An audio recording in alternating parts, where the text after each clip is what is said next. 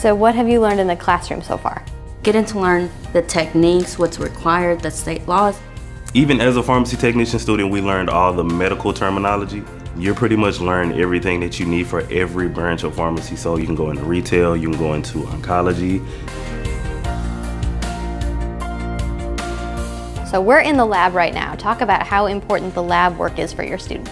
The lab is basically where they get their hands-on training. We have to bring them into the lab and teach them how to count prescriptions, how to deal with customers, how to actually make IVs, how to protect themselves when they're working in a hospital. My favorite part of the program would be actually the hands-on, being able to compound. Really, my favorite part was compounding. Compounding is where you mix base ingredients to create something more complex. Say a patient can't swallow a tablet, we can turn it into an elixir, a tincture. Um, we can make it topical. We can make it into a lotion where it's absorbed through their skin.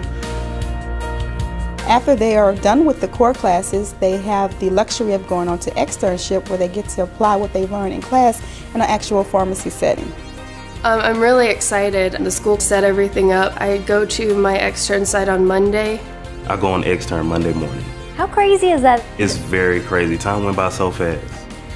So tell me what you learned about yourself as a student here at Carrington College. I learned that I am capable of a lot more than I ever thought I was. I learned that I could pretty much do anything that I could put my mind to. I've learned that I just don't want to go into the pharmacy retail side. I actually want to learn the hospital side of it. It's opened up a whole bunch of different doors instead of just one. So what are you waiting for? To learn more about the pharmacy technology program here at Carrington College, visit carrington.edu today.